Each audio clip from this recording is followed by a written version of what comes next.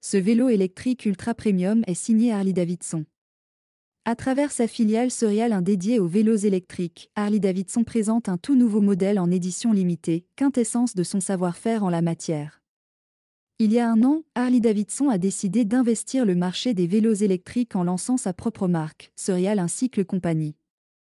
À noter que son nom est un clin d'œil à sa première moto, la mythique Serial Number One de 1903. Le catalogue comprend déjà 4 modèles premium, disponibles de 3 799 à 5 599 dollars. Pour la première fois, elle propose aujourd'hui un modèle en édition limitée, le Mash Bar Oblique Tribute, disponible à seulement 650 exemplaires, vendu 5 999 dollars l'unité. À noter que, pour le moment, la marque n'est distribuée qu'en Amérique du Nord, même si elle est annoncée prochainement en Europe. Le Mash Bar Oblique Tribute est basé sur le Mash Bar Oblique CTY mais se distingue par sa peinture noire brillante, une selle en cuir couleur miel fabriquée à la main, des poignées en cuir assorties de bras en glande et un bouclier en laiton estampé monté sur le feu de signalisation avant.